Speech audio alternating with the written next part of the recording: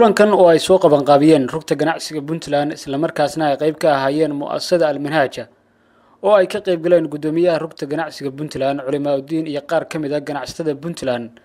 Ayaa ujeedkiisu ahaa sidii ganacsatada looga wacyigelin lahaa waxyaabaha ganacsigooda dhibaatada u keenaya iyo sidii iyagu ay si daacad ah bulshada ugu adeegi lahaayeen.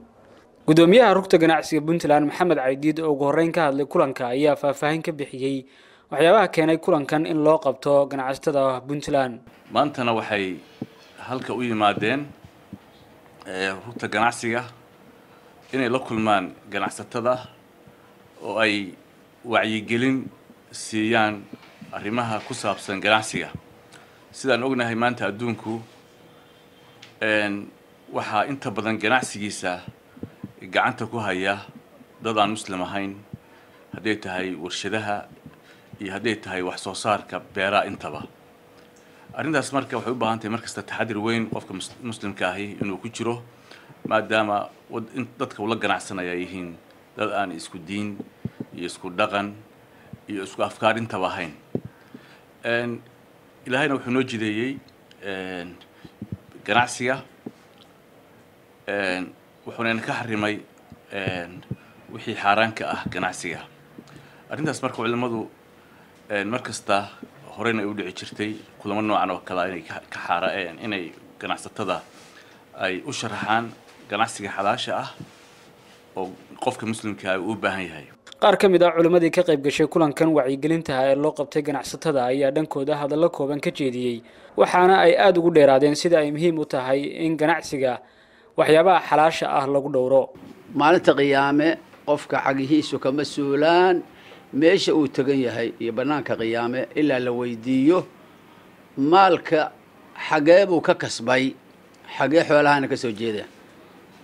Xagee buu ku bixiyey ma meel ilaahay ugu talagalayba ma meel la amrayba ma meel maaragtay sharcigu baneeyeyba mise wax xaaraanba wey. Waxaa sheekhu marka ka hadlay qushka iyo khiyaanada iyo waxa xun oo xoolaha soo geli kara.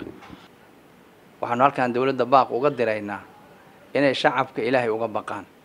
Iyagaa mas'uulka ah iyagaana lala xisaabtamayaa waxa waddanka la keenayo inay kontarool mariyaan.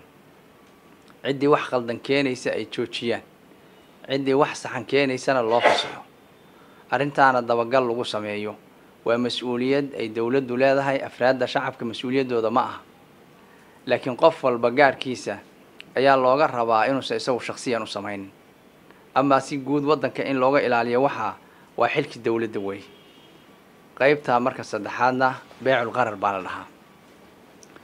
Qaybta afraad oo wax kasta oo ganacsi a xaaraam uu ku noqdaa waa in shardi la galaa. Labadii arrimoodoo hadda soo sheegnay mid ka mida u noqonaya shardi baa la wada gelayaa shardiga ama waxaa ka dhalanaya qarar ama waxaa ka dhalanaya ribo. Marka naftaydiiyo tiina waxaan u dardaarmayaa. Waxaa ilaahayna siiyey mar dhowaan ka tagaynaaye inaan ilahay hortiisa wax ka geysanno.